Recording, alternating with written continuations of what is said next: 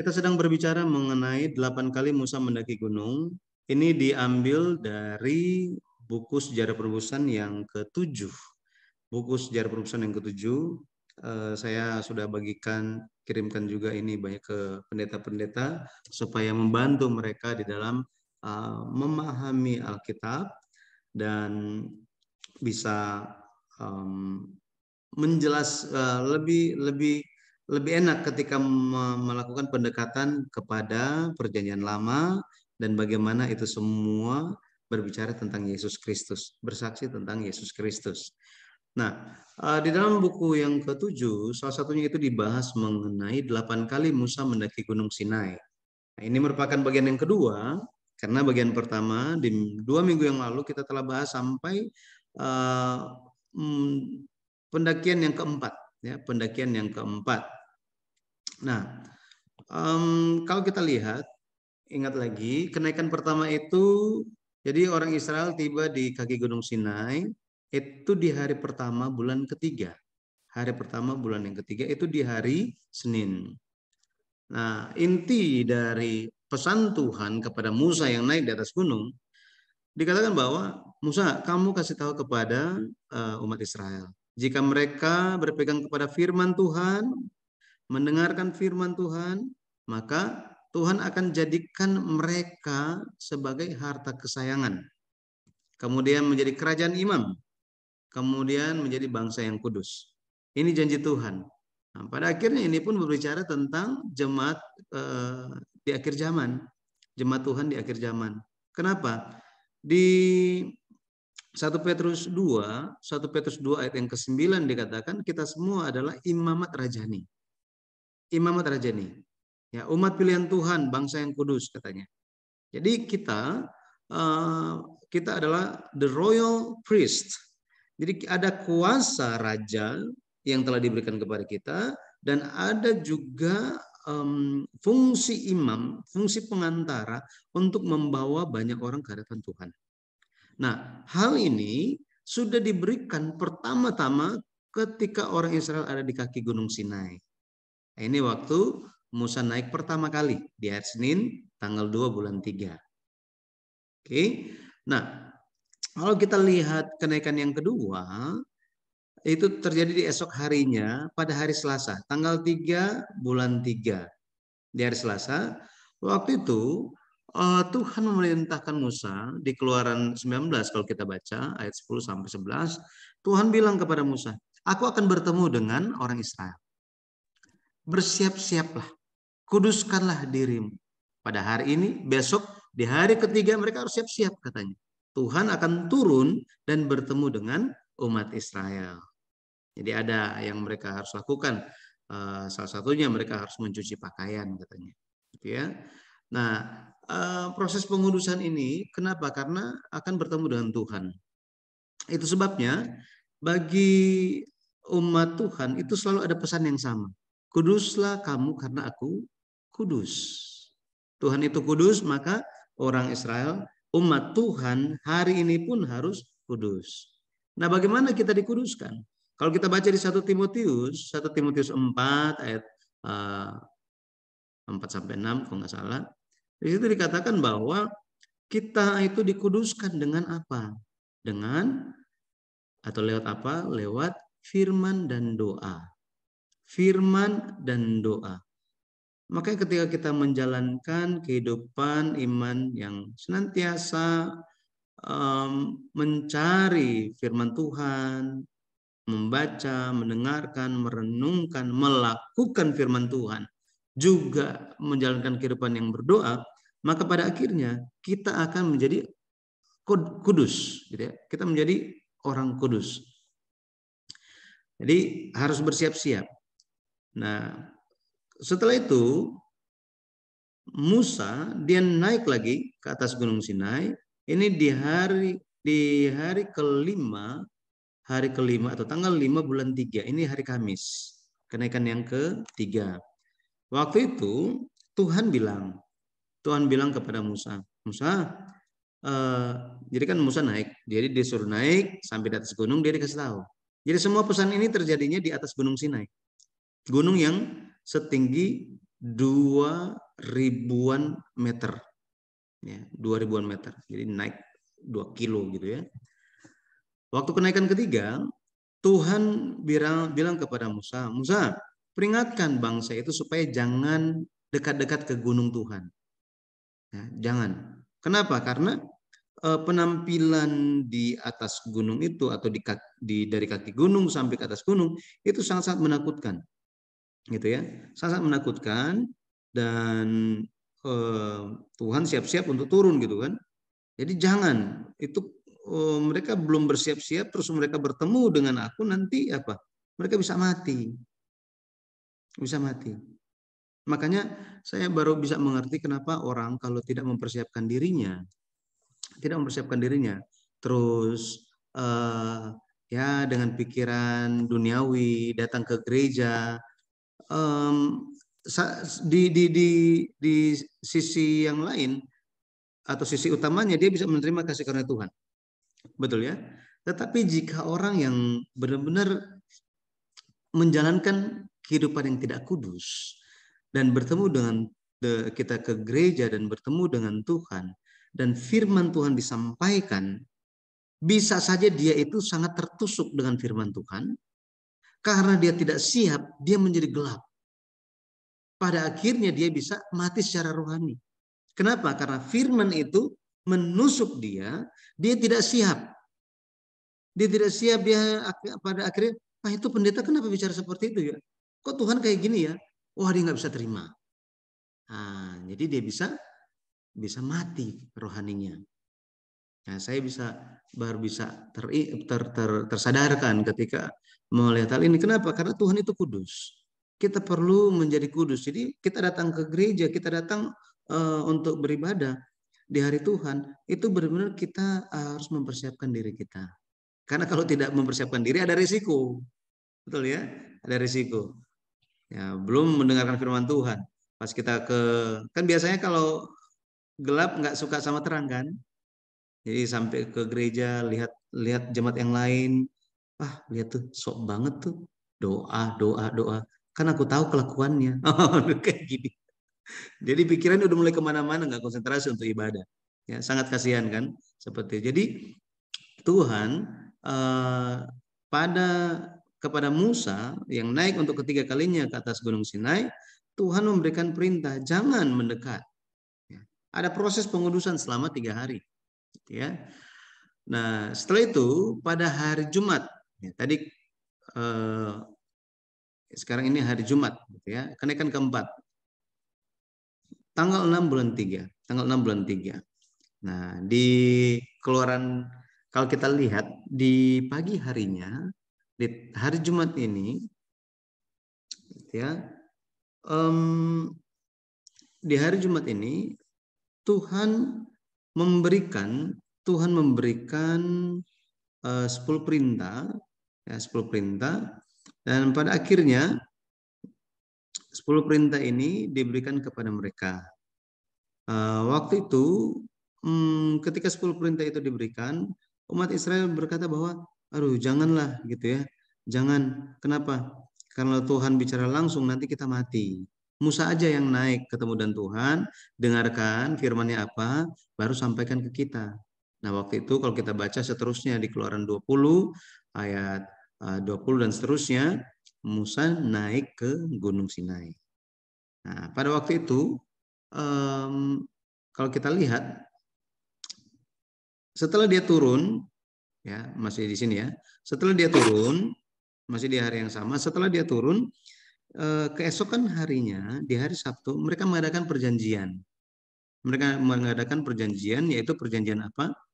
Perjanjian Gunung Sinai. Ya, perjanjian Gunung Sinai. Oke, sekarang kita lihat mengenai kenaikan yang kelima. Kenaikan yang kelima uh, di sini agak blur gitu ya. Ini terjadinya di hari Sabtu. Di hari Sabtu, kalau hari Jumat itu hari yang ke-50 setelah Exodus, ini hari Sabtu ini, ini hari yang ke-51. Oke, tanggal 7 bulan 3 tanggal 7 bulan 3 pada hari Sabtu. Nah, eh, apa yang terjadi di sini kalau kita lihat um, setelah mengadakan perjanjian, konfirmasi perjanjian, Tuhan menyuruh untuk um, tua-tua Nadab Abihu itu datang. Ya, datang bertemu dengan Tuhan. Nah, di sini di Keluaran 24 ayat 9 sampai 11 dikatakan dan naiklah Musa dengan Harun, Nadab dan Abihu dan 70 orang dari para tua-tua Israel. Lalu, lalu mereka melihat Allah Israel Kakinya berjejak pada sesuatu yang buatannya seperti lantai dari batu nilam dan yang terangnya seperti langit yang cerah. Tetapi kepada pemuka-pemuka orang Israel itu tidaklah diulurkannya tangannya. Mereka memandang Allah lalu makan dan minum. Nah, ini suatu hal yang luar biasa. Ya, satu hal yang uh, sangat-sangat luar biasa. Kalau kita lihat di sini mereka bukan cuma Musa saja, tetapi ada Harun, Nadab, Abihu, anak-anak Harun, Kemudian 70 tua-tua Israel. Mereka naik ke Gunung Sinai. Mereka tidak mati. Bayangkan. Dikatakan mereka memandang Allah. ya Memandang Allah. Makan dan minum. Ya, jadi um, memang tidak dikasih tahu bahwa mereka itu langsung melihat muka Allah. gitu ya um, Tidak melihat muka Allah. Karena um, tidak tidak apa ya namanya di sini melihat wajah Allah, ya, melihat wajah Allah, um, Musa aja cuma lihat belakangnya gitu, punggungnya. Ya, di sini ekspresinya cuma dikasih tahu bahwa apa? Cuma dikasih tahu bahwa kakinya berjejak pada sesuatu. Dia bisa lihat jejak kakinya Allah katanya. Jangan tanya saya jejak kakinya seperti apa, saya nggak tahu. Ya, um, tetapi dikatakan tidak diulurkan tangannya. Artinya apa? Eh, ekspresi tidak diulurkan tangannya ini artinya Tuhan eh, biasanya orang bertemu dengan Tuhan itu itu mati. Kenapa? Karena Tuhan itu begitu mulianya, begitu besarnya, begitu kudusnya, maha kudus. Eh, orang tidak akan tahan berdiri, bisa mati. Gitu ya. Tetapi Tuhan tidak ulurkan tangannya. Dikatakan ada ekspresi mereka memandang Allah lalu makan dan minum. Artinya apa? Kenapa? Kenapa ini terjadi? Bagaimana ini bisa terjadi? Kenapa? Karena mereka barusan mengadakan perjanjian. Perjanjian. Mereka katakan apa? Semua setelah Musa membacakan setiap firman yang disampaikan, mereka bilang setiap firman yang Tuhan sampaikan akan kami lakukan. Nah, ketika kita hari ini, ketika hari ini kita uh, menerima firman Tuhan dan um, percaya kepada firman, berusaha untuk melakukannya, maka Tuhan tidak akan mengulurkan tangannya kepada kita. Kenapa? Tuhan akan menganggap kita anak-anaknya yang layak. Yang layak untuk menjadi anak-anak Allah. Seperti ini. Bukan orang lain lagi. Tetapi keluarga Allah. Ya, keluarga Allah.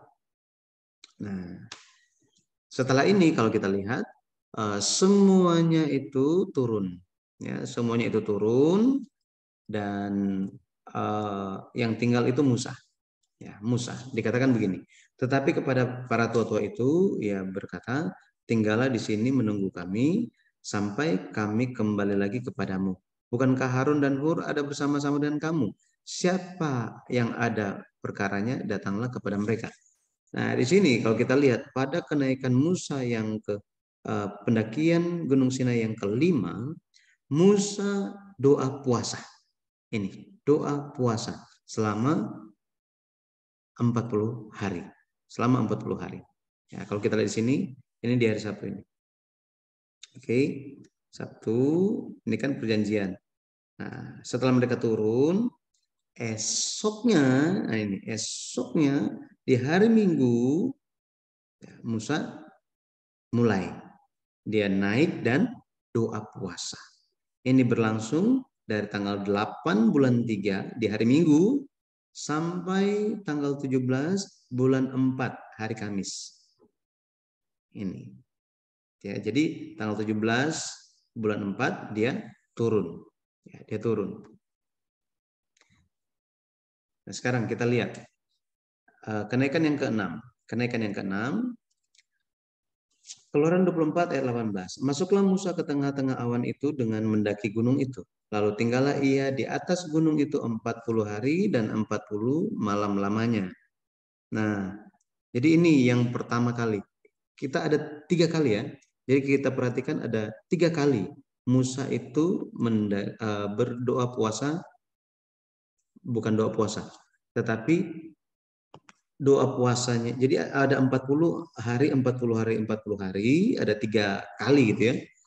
Doa puasa dulu, 40 hari doa puasa, kemudian 40 hari doa syafaat. Nah ini nggak puasa, tetapi doa syafaat.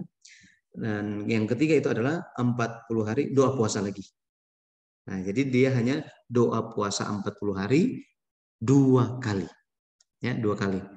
Ada yang 40 hari tetapi itu bukan doa puasa tetapi doa syafaat. Nah, kita lanjut. Di kalau kita lihat di waktu ini ya, di waktu ini um, Musa itu ditekankan bahwa apa? Roti tidak kumakan dan air tidak kuminum. Coba perhatikan di ulangan 9 ayat 9 di bagian akhir itu dikatakan maka aku tinggal jadi dia mendaki itu ada tujuannya untuk menerima loh batu, loh perjanjian yang diikat Tuhan dengan kamu. Jadi ada tujuan dia naik untuk menerima loh batu. Dikatakan aku tinggal 40 hari 40 malam lamanya di gunung itu, roti tidak kumakan dan air tidak kuminum. Nah, lihat di sini. Gitu ya. Jadi dia berdoa puasa di sini. Berdoa puasa. Dia menerima jawaban. Oke. Okay? Pada akhirnya, kalau kita lihat, dia menerima dua loh yang bertuliskan 10 perintah. Dua loh itu, itu seperti buku, misalnya buku sejarah perusahaan gitu ya, kita pegang. Tetapi kalau kita lihat ukurannya, itu sampai lengan. Dari ujung jari tengah sampai sikut, sampai ujung sikut. Nah ini uh, sekitar 45 cm. Ini satu hasta. Jadi ukurannya satu hasta satu hasta. Gitu ya. Satu hasta satu hasta. Jadi kalau ibu-ibu mau bayangin seperti apa gedenya tabur apa e, dua loh batu itu, loh batu satu masing-masing itu ukurannya satu hasta yaitu sekitar 45 cm. Jadi dia empat persegi sama sisi. Nah, tapi ada dua, dua loh batu. Dan ini bentuknya tipis, ya, seperti marmer, keramik, lantai, nah, seperti itu. Kalau ada yang ukuran 45 kali 45 seperti itu kira-kira.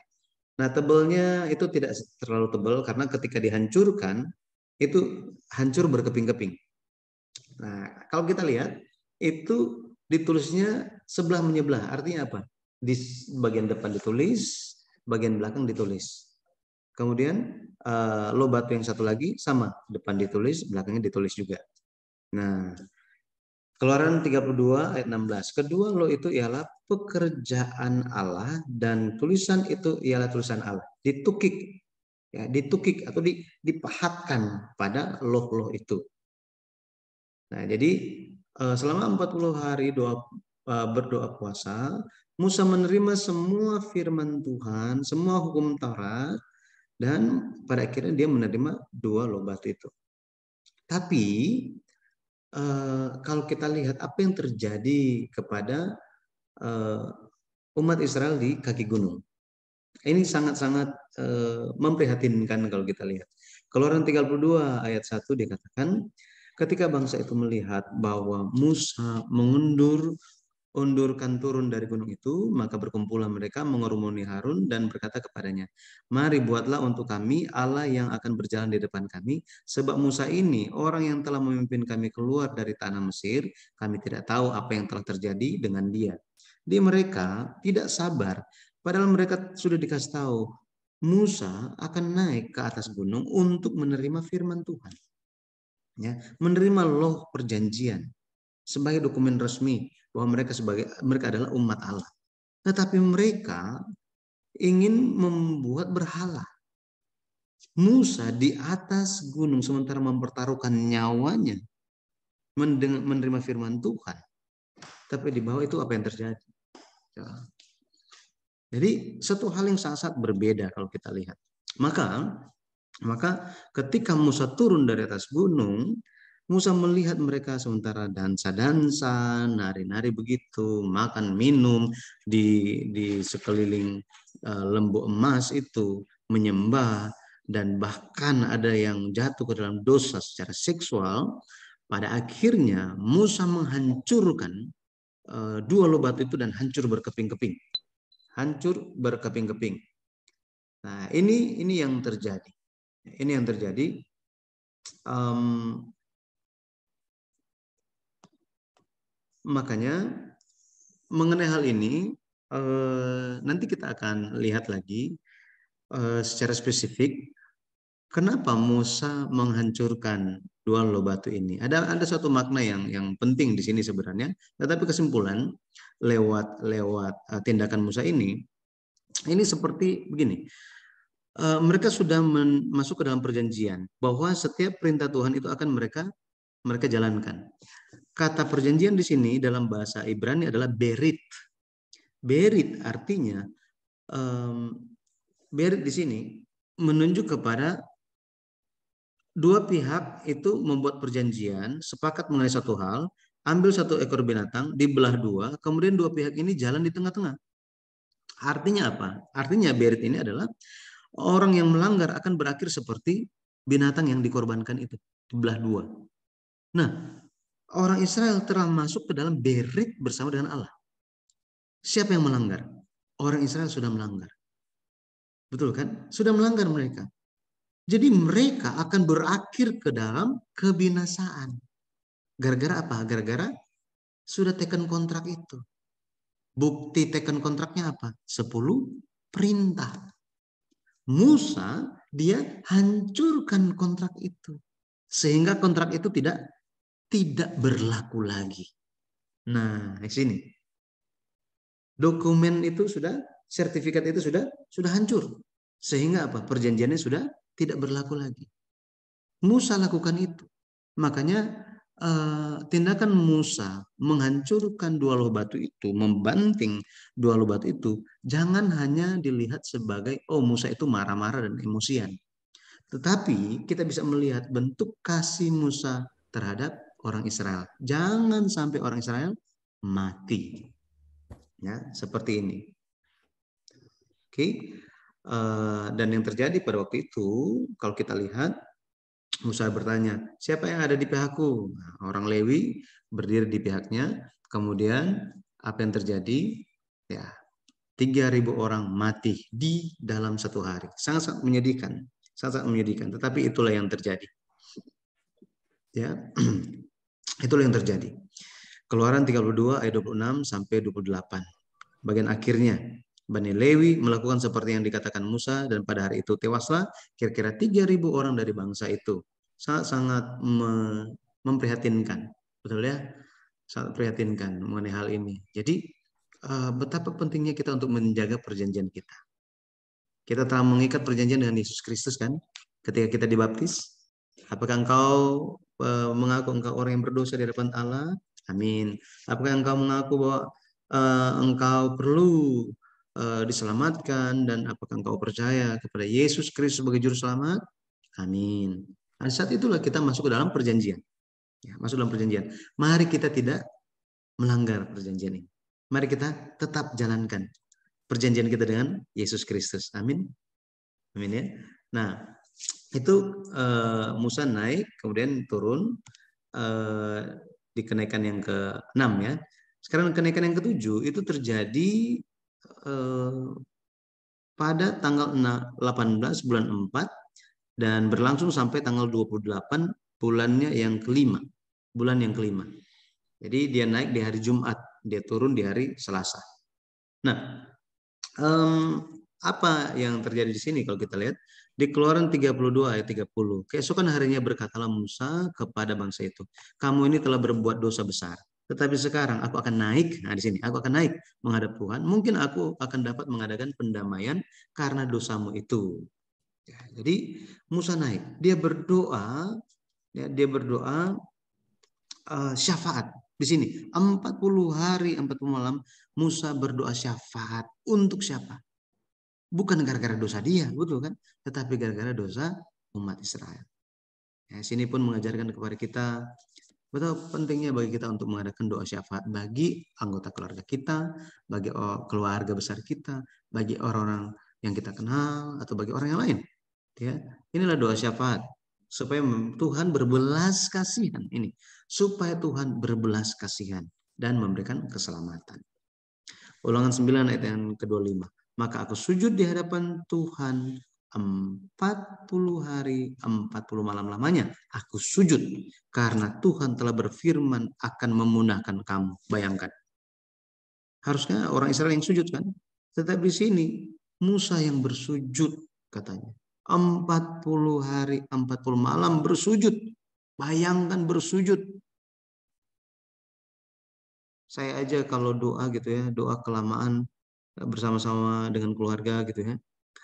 Itu doa agak lama 10 menit. Waduh udah kram itu kakinya lututnya. Jadi setelah berdoa mesti lurusin dulu kakinya. Ya bayangkan ini Musa bersujud di hadapan Tuhan. Bagaimana kasih kasih Musa terhadap umat Israel luar biasa. Ulangan 10 ayat 1 pada waktu itu berfirmanlah Tuhan kepadaku, pahatlah dua lo batu yang serupa dengan yang mula-mula, naiklah kepadaku ke atas gunung dan buatlah sebuah kayu dari sebuah tabut dari kayu. Ya, jadi ini uh, pada akhirnya di akhir di akhir 40 hari doa doa syafaat Musa, Tuhan berikan perintah, ya sudah kamu turun, pahat dua loh batu sama kayak yang mula-mula. Kalau setelah itu uh, naik ke atas nanti aku akan tulis gitu. Ya, jadi Tuhan yang tulis. Jangan jangan ragu-ragu mengenai hal ini gitu ya. Tuhan yang tulis, bukan Musa yang tulis. Yang banyak yang bilang, oh yang pertama Tuhan yang tulis, yang kedua itu Musa yang tulis. Enggak gitu ya enggak Tuhan yang tulis tetapi lohnya siapa yang siapin Musa yang siapin Musa yang siapin ini suatu hal yang yang yang yang sulit sebenarnya nah sekarang uh, kita lihat um, jadi di sini kalau kita perhatikan ya kalau kita perhatikan kenaikan yang ke delapan ya kenaikan ke delapan itu dari tanggal 30 tanggal 30 bulan yang kelima itu hari uh, Kamis dan doa puasa ini kan dia doa syafaat dulu doa syafaat dulu setelah itu kalau kita lihat dia nanti disuruh naik lagi gitu ya disuruh naik lagi hari Kamis tanggal 30 bulan yang kelima sampai tanggal 10 bulan 7. Ini tuh di hari Senin. Ya. Nah, um, kalau kita lihat setelah setelah um, setelah orang Israel, setelah Musa itu doa syafaat, apa yang dilakukannya? Musa mendirikan kemah pertemuan sementara. Ya, kemah pertemuan sementara. Ya, kenapa? Karena Tuhan tidak mau ada di tengah-tengah perkemahan Israel. Akhirnya Tuhan mau di luar perkemahan. Ya, di luar perkemahan. Jadi Musa mendirikan kemah pertemuan sementara. Itu bisa dibaca di ayat-ayat Keluaran 34 ayat 1 sampai 28, Ulangan 9 ayat 18, Ulangan 10 ayat 1 sampai 4. Nah, setelah itu Allah memerintahkan kepadanya tentang tiga hari raya dan hari Sabat. Nah, itu sekaligus ada di situ ya. Nah, pada akhirnya Musa naik ke delapan kalinya ke Gunung Sinai berdoa puasa 40 hari. Ini yang terakhir. Ini yang terakhir. Oke.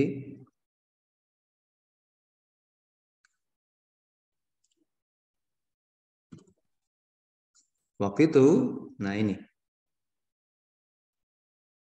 Waktu, uh, sebelumnya Allah sendiri yang membuat dua batu dan menuliskan 10 perintah, tetapi sekarang 10 loh itu, ah, 10 perintah, dua loh batu itu dibuat oleh Musa dan Allah sendiri yang tulis seperti sebelumnya. Ya, itu ada di Keluaran 35 ayat 28 dan Ulangan 10 ayat yang keempat. Nah, setelah ini apa? Musa turun ini Musa turun dari gunung pada hari ke-10 bulan ke-7. Ini di hari Jumat. Uh, satu hal yang luar biasa tentang hari ini, hari ke-10 bulan ke-7 ini merupakan hari pendamaian. Hari raya pendamaian. Ini merupakan hari yang telah Allah tentukan sebagai hari imam besar melakukan pendamaian atau penghapusan dosa umat Israel. Jadi setiap tahun imam besar itu akan masuk ya masuk uh, keluar selama empat kali sebanyak empat kali uh, ke dalam ruang maha kudus itu di di di hari apa? Di hari ke-10 bulan ke-7. Ini yang uh, barusan dipelajari oleh uh, kelas ibu-ibu dari kelas uh, sejarah perusahaan daerah Serpong gitu ya tentang tugas imam besar. Jadi ada tugas ya, terutama yang dilakukan oleh imam besar itu adalah masuk masuk keluar uh, di dalam ruang Maha Kudus untuk acara penghapusan dosa atau pendamaian dosa dan kesalahan umat Israel. Itu semua terjadi di mana? Di hari keempat, eh, hari ke sepuluh bulan ke tujuh, bulan ke tujuh. Nah, kalau kita lihat, ya kalau kita lihat di Rasul Paulus di 2 eh, Korintus 3 ayat 16 sampai 17 menerjemahkan apa makna apa makna Musa yang turun turun di hari pendamaian itu Musa turun itu wajahnya itu berkilau-kilauan sampai-sampai harus di harus ditaruh ini selubung gitu ya taruh selubung kayak taflak gitu ya atau handuk gitu. Kenapa katanya? Ya. Kita lihat 2 Korintus 3 ayat 16 sampai 17. Tetapi apabila hati seorang berbalik kepada Tuhan, maka selubung itu diambil daripadanya. Sebab Tuhan adalah roh dan di mana ada roh Allah, di situ ada kemerdekaan. Nah, jadi bagi bagi orang Israel mereka harus sadar bahwa bahwa hati mereka itu telah terselubung ya terselubung. Karena mereka apa? Mereka menjauh dari Tuhan. Ketika mereka berbalik kepada Tuhan maka selubung itu akan diambil sehingga akan akan merdeka akan nyata akan nyata kemuliaan Tuhan. Hari ini pun sama ada banyak banyak uh, um, banyak pergumulan yang kita hadapi, ada banyak topik doa yang kita doakan di hadapan Tuhan. Dan hal tersebut, jika kita tidak berjaga-jaga di dalam doa, berpegang kepada Tuhan, maka hal itu akan menyelubungi hati kita dan akan membuat kita jauh. Tetapi kita percaya satu hal bahwa Allah mengizinkan segala hal terjadi kepada kita untuk membuat kita tampil seperti emas yang murni imannya. Betul ya? Ini eh, Ayub kan? Ya, supaya kita apa? Tam, timbul seperti emas. Murni. Murni. Kita pun semua sementara dimurnikan. Nah, mari kita senantiasa melihat kepada Yesus Kristus, kepada firman-Nya. Sehingga kita bisa dengan teguh menjalani kehidupan iman kita. Ya.